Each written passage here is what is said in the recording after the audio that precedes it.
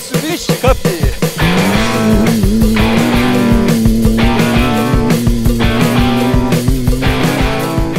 As principais mudanças é que a gente volta a ter sete etapas no ano, onde cada etapa vai ter uma dinâmica diferente.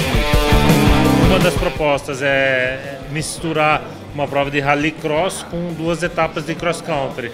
Ou seja, o pessoal vai participar de uma prova de rallycross que é dentro de um autódromo, uma pista curta, com várias voltas e disputas diretas. E depois faria as especiais normais de cross country. Essa é uma proposta. Uma segunda proposta é uma prova de endurance interródromo, onde cada categoria em disputa direta no autódromo daria é, voltas suficientes até completar duas horas de prova. E uma terceira novidade que a gente quer lançar em 2017 seria a especial noturna. As principais mudanças é, no ASX, o carro tem mais potência e torque no motor.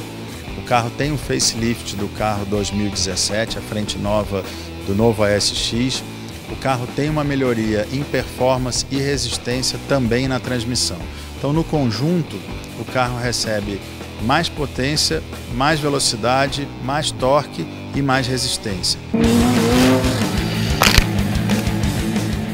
Ano que vem a gente tem só o ASX RS, até esse ano 2016 a gente tinha duas. A gente continua com a categoria que mais cresceu esse ano, que foi a Triton ER, é um carro derivado da Triton Flex de rua, e com a Pajero TR4 ER, que é um carro super tradicional da Mitsubishi Cup, que completa ano que vem 18 anos de vida.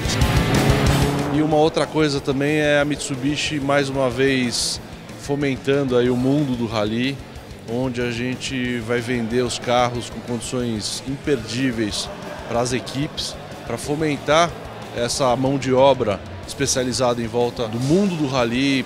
Então a Mitsubishi passa a ser uma fabricante de carros de corrida para é, prover esses carros para as equipes particulares.